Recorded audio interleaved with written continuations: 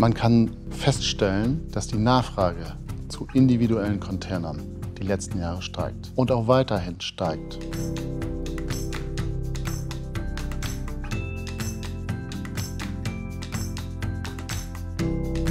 Die Tätigkeit der ELA Engineering ist eigentlich das, was ELA schon seit Ursprung macht. Unser Senior, unser Founder Bernhard Albers ist angefangen, Seekontainer zu kaufen und zu modifizieren.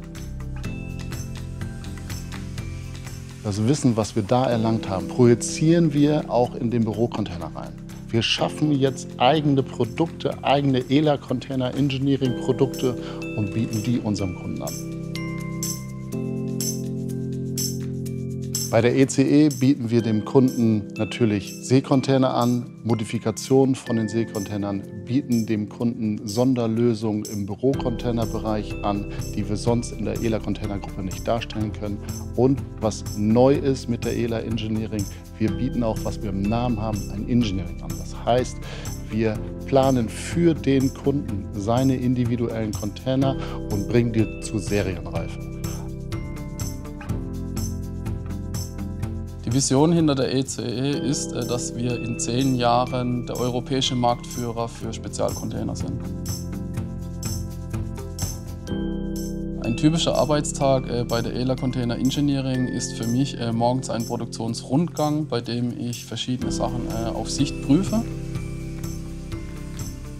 Dann im Anschluss Absprachen mit der Produktion, mit der eigenen Produktionskontrolle, auch mit dem Wareneingang. Im Anschluss kümmere ich mich dann eigentlich um das Engineering-Team und dann neben dem operativen auch die strategischen Themen zusammen äh, mit unserem kaufmännischen Leiter Meinholz Topov.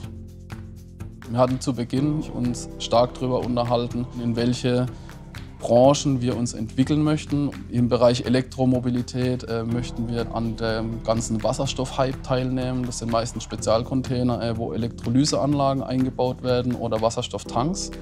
Das möchten wir in Richtung Plattformen entwickeln. Wir merken jetzt schon, dass dieser Trend zu individuellen Containern die nächsten Jahre anhält. Die ELA Container Engineering wird die Idee, die unser Founder Bernhard Albers hatte, weiterführen und ausbauen.